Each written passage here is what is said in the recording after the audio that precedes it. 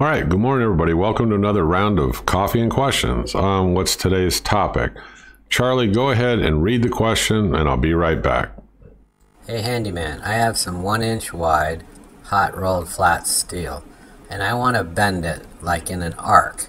Is there an easy way to do it without having to go out and buy expensive jigs? Yeah, there is. Um, I'm going to show you, and then I'll explain to you what I've done and the way that we've done them in the past. And you can create either an arc or a full circle. But let me change a picture. I pulled this off of the web because it's what I used when I designed and I did mine. So give me just a sec here. I'll change a picture. We'll get into the discussion. Okay, so let's take a look at this picture. Now, the first thing you're going to need to do when you go out to that scrap supply place or your steel supplier, look around for scrap. So take a look at the picture. It'll give you some ideas on, you know, some flat metal you're going to need. Now, in this picture, he screwed it down. You can see where the screw holes are to a large piece of wood. Now, you can do that. That's what we did is I took a three quarter inch scrap piece of plywood and we ground and we drilled and then we countersunk like you see here these screws are countersunk and we went ahead and screwed it into the wood okay now we welded these tabs on here but what we did is we took a compass and on that piece of flat steel before we welded the little vertical pieces we drew a full circle the size of what uh, this friend of mine wanted i forgot whether it was eight inch or whatever somewhere right around in there we drew an eight inch circle using, um, like I said, a compass. Then we welded these little tabs, these little vertical pieces of steel, and we went in a full circle. Then, where you see the rebar here comes up to that first piece where he has it in the picture.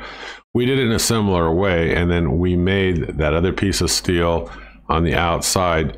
It wasn't tight fitting, it was we had a little bit of play, but not very much, say like an eighth of an inch where that rebar was set in there.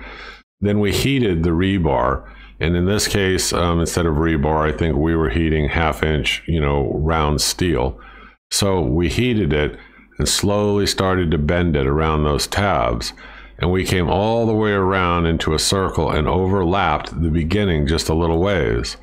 When we were done, we cooled it off. We removed it. We used a four and a half inch angle grinder with a cutoff wheel. We cut it and then we heated it and we bent the two ends so they matched close together.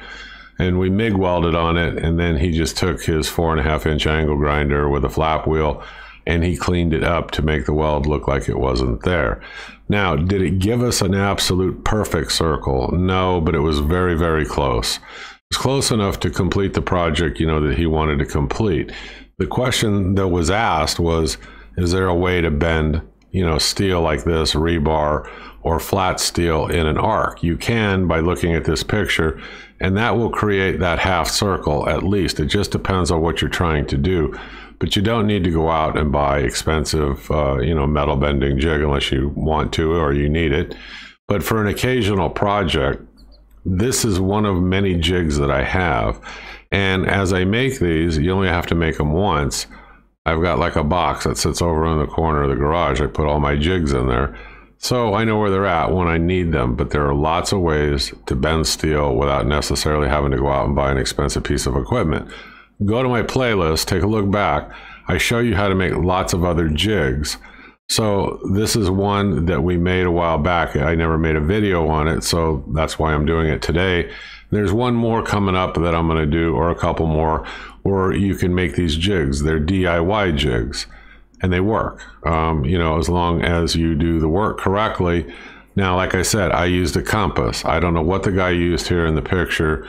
I can see all the grinding marks and stuff like that. We didn't clean it up that good. We cleaned up the areas where we were going to weld and called it done because it's a matter of weld prepping. And then we went ahead and we welded those tabs in there and you use that circle to help you align the vertical tabs. I mean, it's pretty easy once you have that circle drawn. You just have to decide how big of a circle or how big of an arc do you want. Use the compass, scribe it on there. I mean, you can go over it with a marker or whatever you want to do. Cut these tabs and then go ahead and just weld them on there real good because you're going to put some force on it even when you heat up the steel and go to bend it. But as, when you heat the steel, and on the opposite end, we just put like a small pipe over that half inch round bar stock. And as we heated it, we just kept walking and bending it, and it came out in a nice smooth arc all the way around. And then, like I said, we did a complete circle. You don't have to do a complete circle.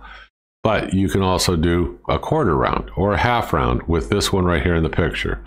Okay, it was meant to kind of be your quick tip of the day video. I hope you enjoyed it. I hope you get something out of it.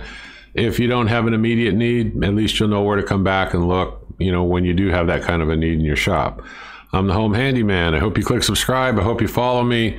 Coming up this weekend, I'll put out some more how to's. Till then, I'll see you. You folks have a wonderful day. Bye bye.